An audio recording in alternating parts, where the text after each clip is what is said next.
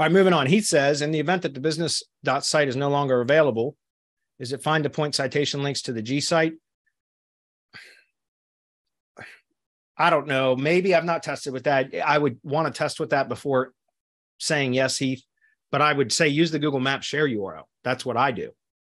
Um, if a Google Business website is not available, like a client submits a project without a Google Business website, then we just built we set up Citation Vault um, to the Google Maps share URL because that's that's available, right? So it's it's it's either going to be one or the other. I've not tested with the G. If it's a branded G site, then yeah, you could test with it. I don't have. I've not tested, so I I, I don't know.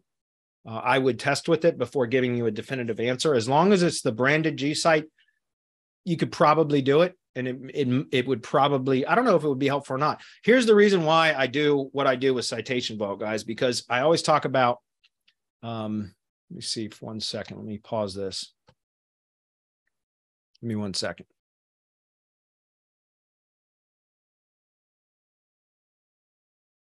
Here it is.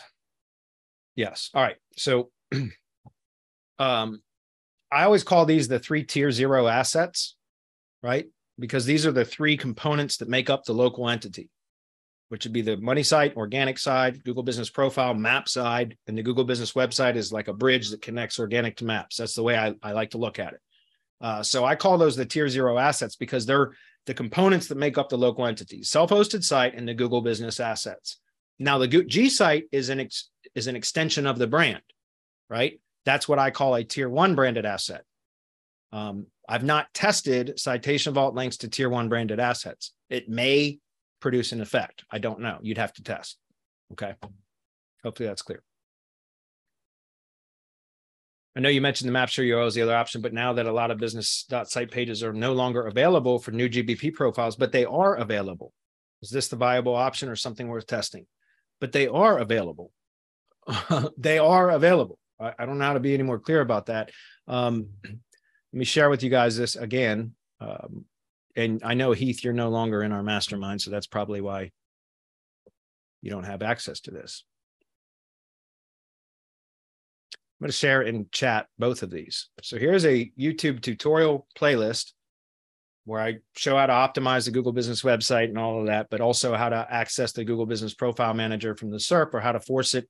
Um, this, if these two don't work, then I always point to this, which I did not publish this. Whoever this gentleman is, Tim something or another published it. But this, every time I've sent this to somebody that says that they can't access the Google Business website anymore, they're able to access using this method, which is just a short SOP post about how to how to access the Google Business website.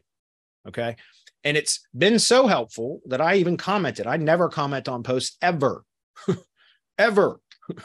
and I did this time because I was appreciative of how helpful this post has been. So I have shared this with dozens of people. I'm not kidding. And everybody's come back and said, man, that worked. Thank you. So I wanted to thank Tim, whatever his name is. So anyway, I'm going to put this in chat. You guys can try that yourself. Should be in the replay as well.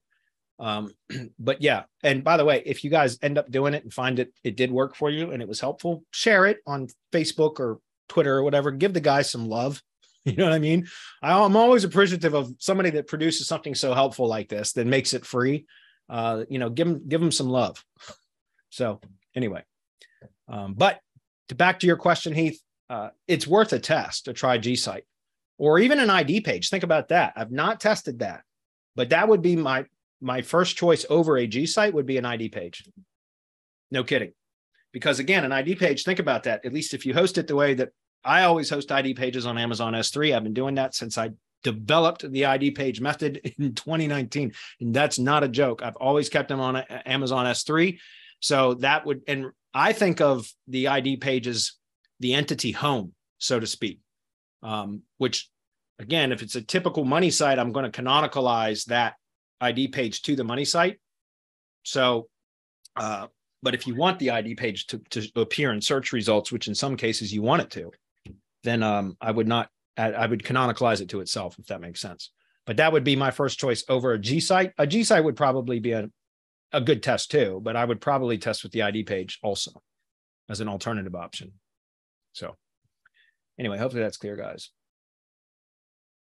Will Scott says, I've used that Hypetrix tactic a handful of times. It's 100% for me. Yep, that's what I heard, man. I've not heard any other problems whatsoever. Um, uh, from some of the other methods that I shared, which are just simple methods that some people come back and say, man, I, I still can't get it to show up, which is just deleting the website from the profile, saving it. The, the, if you have the regular, a regular website and the Google business profile manager is not showing, you just go in and delete the website, save it, come back a few minutes later, open up the editor again um, to edit the deep business details, and then you go down and it has a prompt that says create a website, a free Google, a free website with Google or something like that, and then it takes you in a Google Website Manager. When you click the button, then you publish the site. After the site's published, you go back in to edit your profile settings again, and then you can clear that and add your regular website URL back in. And that had worked for mo- for most people, but sometimes people say that still doesn't work. And so then I point them to this and it works. That's what I've heard. Um, so yeah, anyway, moving on.